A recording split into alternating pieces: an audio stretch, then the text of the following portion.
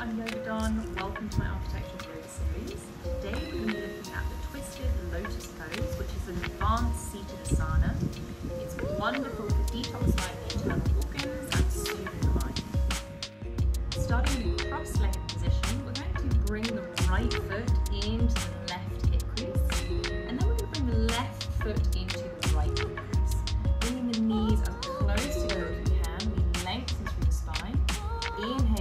Inhaling up and the right hand comes behind as a second spine. Left hand comes onto that right knee. Inhale to lengthen, exhale to twist. If your arms are long enough like mine, you may be able to wrap the right hand